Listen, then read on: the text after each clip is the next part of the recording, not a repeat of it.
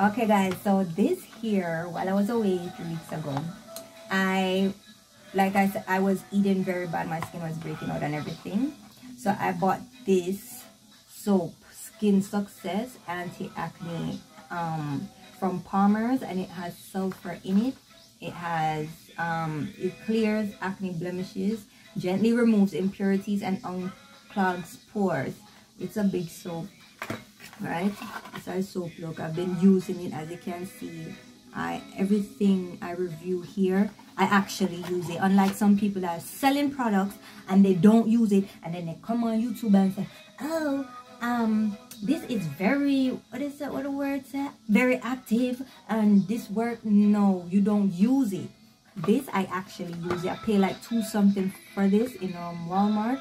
And it's it was drying drying up my skin I also noticed that it made my skin like um, peel a little bit off. You understand? And I like that peeling because sometimes you use soap or you use product on your face and like the, the dead skin on top is on top of there and it's not peeling and coming off the way you want it to come off. But this was this was working and a lot of people do reviews about this. You understand? It doesn't take off dark spot but it helps with any any bumps where you have on your face it will dry it up. I don't think it prevents new new acne.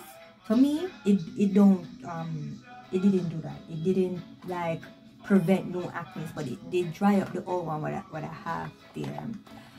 And it's pretty good. I mean try it out